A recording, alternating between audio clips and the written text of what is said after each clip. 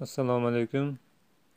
Qadrli kanalimiz a'zolari kanalimizni tomosha qilib turgan e, tomoshabinlar mehmonlar e, mana sizlardan kelgan savollar ham ancha ko'payib qolibdi. Shunga yana bir e, tez tez javob berib o'tamiz. Xudo xohlasa imkon qadar.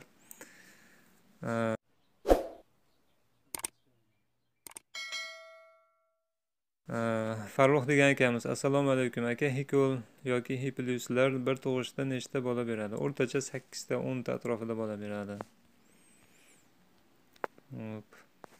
Assalomu alaykum mansur degan akamiz vaalaykum assalom. Quyon katakka qo'ygan qora plastikni qayerdan topsak bo'ladi? Bu taxta bozorlarda bo'ladi bizda. Asakadan chiqadi o'zi. Taxta bozorlarda olib kelib sotiladi. Hop Xuldigan Volk degan ekanlar assalomu alaykum. Qora quyonni so'yib yubordim. Mo'krayim mordочка kasallik o'tib ketibdi. O'pka oqim bo'lib ketdi. Bu o'pkani shu oqim bo'lib ketishi e, pasterelyoz degan kasallik. Antibiotik ukol qilib turish kerak shularga qarshi. Har ikki uch oyda bir katta yoshi katta quyonlarda immunitet tushib ketganda e, shu o'pkasi shunaqa bo'lib ketadi. Shuning uchun yoshi katta masalan uch to'rt marta tuqqan quyonlarga har ikki oyda antibiotik masalan nitoksdan soniga yarim grammdan ikki e, kunda bir qilib ikki marta qilib tursangiz shunaqa kasallar kamayadi. Dostonbek akamiz aka quyonni boquvga tayyorlasa bo'ladimi va qanaqa narsalar beriladi?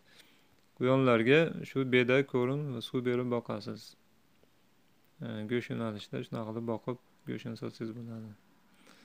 Doniyor akamiz assalomu alaykum dilyorbek aka. Quyonimdan qon kelyapti lekin tuqqani yo'q. Bo'g'iz bo'lishi mumkinmi? Mumkin deyapti. Shamollaganmi? Qon kelishi shu bo'g'ozligidan ham bo'ladi. Ba'zida bo'g'oz quyonlarda jichcha qon kelib turadi. Yusufbek akamiz assalomu alaykum dilyorbek aka. Vaalaykum assalom meni babichka quyonimni burni yara bo'libdi shunga nima qilsam bo'ladi? Javob uchun oldin rahmat. Bu agar qo'tir bo'lsa ivermektin ukol qilish kerak. Ivermektin teri ostiga ukol qilinadi. Nol ikki milligramm bir grammingiz beshta quyonga yetadi. Undan keyin e, yana bir o'n kundan keyin повтор qilinadi. Assalomu alaykum deyapti muhammad rasul akamiz. Dilyorbek aka ukol tug'ilgandan keyin qancha muddatdan dam berish kerak? Yoki dam bermasa bo'laveradimi dam bermasdan shu tuqqandan keyin bolalari o'ttiz o'ttiz besh kunlik bo'lganda yana qo'yib e, besh o'n kun yana emizdirib keyin bolalarni ajratib yuborsangiz bo'laveradi shunda bir yilda olti marta bola olsa bo'ladi. Dam berish shart emas sog'lom bo'lsa bo'ldi tug'dirilaveradi ular shunga moslangan.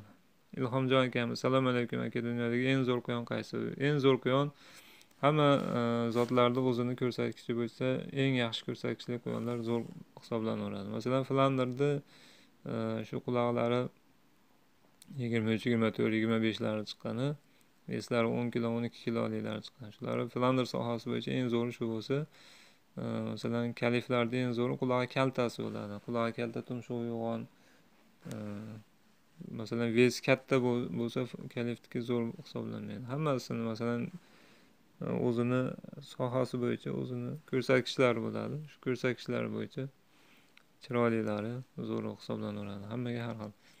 Aziz degan akamiz quyonlar yog'ochni chaynamaydimi chaynaydi jichcha qirib tishlaydi bu ana tishlarni dukurlab ham turadi agar tishlamasin desangiz ana shu yerlarga bor shunaqa qoqib chiqsangiz ham bo'ladi ibrohimjon akamiz rahmat aytyaptilar ho'p nukusdan salom aka kalifni boshqa zotli erkak quyonga qo'shsa bo'ladimi masalan bo'laveradi har xil zotlarni chatishtirsangiz gibridniy bo'lib chiqaveradi go'sht yo'nalishida yaxshi quyonlar chiqadi. Salom dilyor aka siz bilan qanday e, muloqotlashamiz? Nomeringizni nomerimni so'ramanglar akalar. Nomerimni hammaga berolmayman. Malika degan opamiz. Meni quyonim tug'ib ertasi kundan hech nima yemay qo'ydi. Nima qilsam bo'ladi? E, endi quyonlar tug'ib turib ovqat yemay qo'ygan bo'lsa gamovit gamavit ukol qilib ko'rish kerak. Immunitetini ko'targani. Yarim gramm teri ostiga ukol qilinadi. Antibiotik agar isitmasi bo'lsa antibiotik ukol qilsa ham bo'ladi. Nitoks yarim gramm u ham soniga qilinadi. Doniyor rajabov assalomu alaykum. Dilorbek aka vaalaykum assalom quyonimning birinchi uchinchi tug'ishi. Sizning videolaringizni ko'rdim. So'rg'ichlari katta katta meniki. Junini orasida siznikidek emas. Nimadan qanday qilsa chiqib chiqib turadi deyapti hop endi shu quyonlarni bir kimidir katta bo'ladi kimnikidir kichkina bo'ladi. Bu farq yo'q masalan ko'p quyonlar shu so'rg'ochini yonidan jun yuladi jun yulmasa ham bolalar topib emaveradi o'zi. Uni ziyoni yo'q. E, Nafisa opamiz quyon bolalarini bo'lib tug'ishi mumkin mumkin. Masalan ertalab yarmini qolgan kech payt tug'ishi mumkin. Hop har bir kelayotgan razmeri qanaqa? Biz e, kletkalarni masalan saksonga ellik besh bir yigirmaga oltmish razmerlarda yasayapmiz. Bo'ylari qirq besh ellik oltmish o'zingizga mos qilib yasaverasiz hop quyonlar uch oyda tug'adimi deyapti. Qochgandan keyin bir oyda tug'adi o'ttiz o'ttiz besh kunda atrofida tug'adi. Ikki oy yana emizadi ikki oy atrofida keyin yana qochirsa bo'laveradi.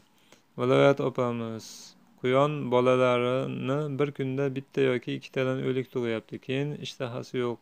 Nima dori qilay desam shu gamavit qiling. Teri ostiga gamavit yarim gramm qiling. Soniga nitoks ukol qiling. Gamavit shu tug'ishini qolgan bolalarni ham tug'dirib yuborishiga e, quvvat beradi. Nitoks e, infeksiya bakteriyalarni o'ldiradi. Quyonda immunitet ko'tariladi. Assalomu alaykum. Aka qishda quyonni uy sharoitida qanday qilib boqsa bo'ladi? Buni javobini berdik. Oldindan rahmat. Aka meni quyonim o'n kun oldin junni yulib radilnikda tashlagandi lekin haliyam tug'gani yo'q. Shunaqasi ham bo'lishi mumkin. Bo'ladi. O'n kun bir hafta oldin junni yulib qo'yishi mumkin.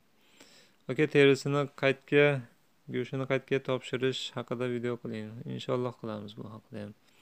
Assalomu alaykum deyapti odiljon akamiz. Dilyorbek aka quyonni homiladorligini qanday bilsa bo'ladi? Uchinchi darsimizni ko'ring. Homiladorlikni aniqlashda sakkizta usuli. Munavvar degan opamiz assalomu alaykum dilyorbek aka maslahat bersangiz. Flandir quyonim bor. Ichi ketyapti ishtahasi ham yo'q.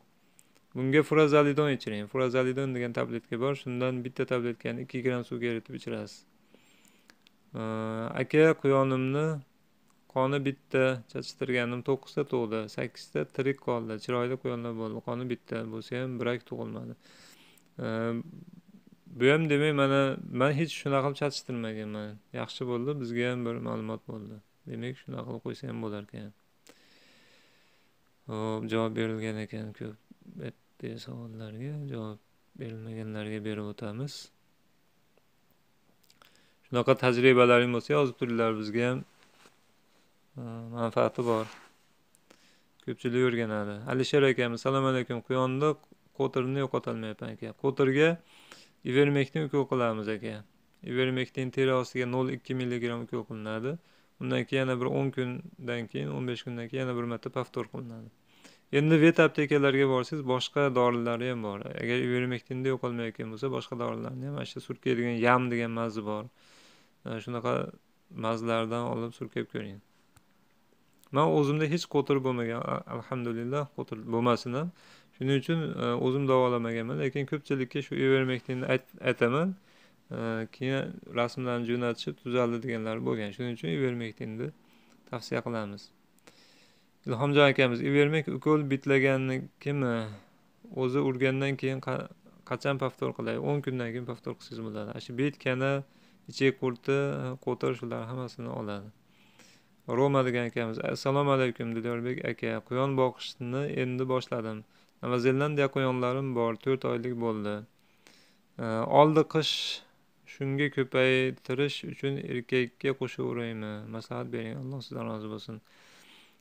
Hozir e, qo'shsa bo'laveradi qishi bilan tug'diriladi yozda o'zi chidam beriladi quyonlarga qishda tug'dirilaveradi faqat ana shu sharoitlarni mana shu videodan qilib yaxshilasangiz to'ldirsa bo'laveradi. Tojikistondan salom deyapti. Vaalaykum assalom mana chet ellik muxlislarimiz. Sag'ada degan akamiz. Bir bola vaalaykum assalom va rahmatullohi aka juda zo'r deyaptilar. Biz qirg'izistondan bizga ham o'rganish nasib etsin. Alloh rozi bo'lsin deb shekilli allohdan so'rayaptilar ekan. Ho'p o'tkir saparov quyon bilan mushuk birga yursa hech narsa qilmaydi endi qo'shmaganingiz ma'qul endi biz nima deydi? Doim birga yurmaydi ba'zan ba'zan shunaqa. Kelib bo'ladi xolos. Alohida yurgani ma'qul. Chunki mishoqda ko'p burgalari bo'lsa o'tib qolishi mumkin. Baxti musoboyev assalomu alaykum. Man aka man endi boshlab o'tgandim. Qayerdan quyon olsam bo'ladi? Gruppalarimiz bor telegramda. Shu telegramdagi gruppalardan olib bemalol shu zakaz qilsangiz bo'ladi farg'ona quyoncha degan gruppamiz bor telegramda poisk bersangiz chiqadi. Hop futbol barsa. Aka mani quyonim navesini tagida turadi sovuq yemaydimi shu haligi oxirgi videomizni ko'ring. Qishda boqish degan videomiz. Shunaqa qilib sharoit qilib bersangiz sovuq yemaydi. Qudrat akamiz assalomu alaykum dilorbek aka. Kunda sabzi bersam bo'ladimi? Ichi o'tib qolmaydimi? Sabzini bitta quyonga bir kunda yarimta bering. Xudo xohlasa ichi o'tmaydi. Ho'p assalomu alaykum dilyorbek aka. Men ham quyon bilan shug'ullanmoqchiman. Iloji bo'lsa tel nomeringizni bersangiz. Rishtondan mirzohid oldindan rahmat. Endi telefon nomerimni berolmayman uzr. Telegramga kirib quyon boqish darslari degan kanalimiz bor. Shu yerga kirsalaring o'sha yerdan topasizlar abdujalil akamiz video uchun katta rahmat deyaptilar. Hozircha shu e, sog' bo'linglar salomat bo'linglar. Doimo allohni panohida bo'linglar.